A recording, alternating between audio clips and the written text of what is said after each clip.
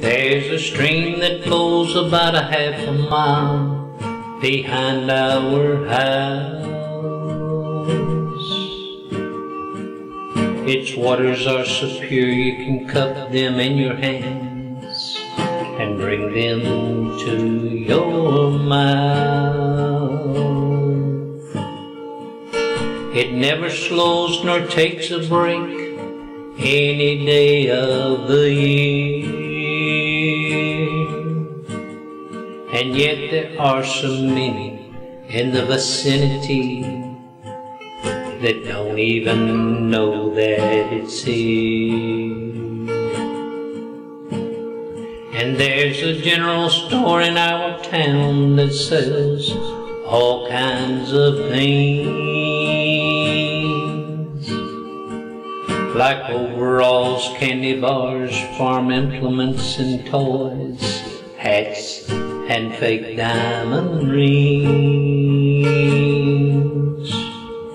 There are coolers that have a wide assortment of brands of soda pop and one cooler that is dedicated to selling spring water in the summertime when it gets hot. But when I am thirsty, I go down to the stream. I drink all that I can without it costing me a thing. It never loses power, nor refuses to flow. It's a shame there are so many unaware when they need a drink. There's a place like the stream to go. When the owner of the store passed away, his children chose to shut it down. No more being able conveniently to buy there. No more spring water there found. But in the place behind our house, the little stream continued to flow. And every time I need refreshment, I know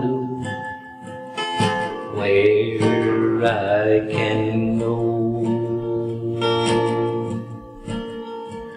We rely on so many things that we produce, things that can so easily fail.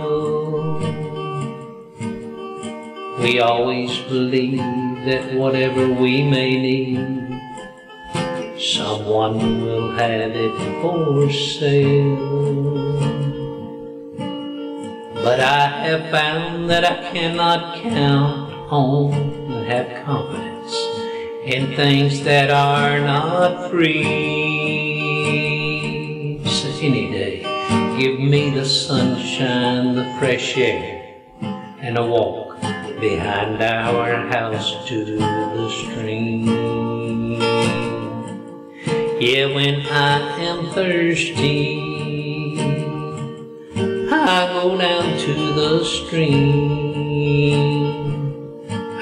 All that I can without it costing me a thing.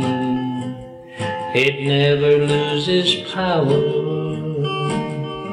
nor refuses to flow. It's a shame there are so many unaware when they need a drink. There's a place like the stream to go.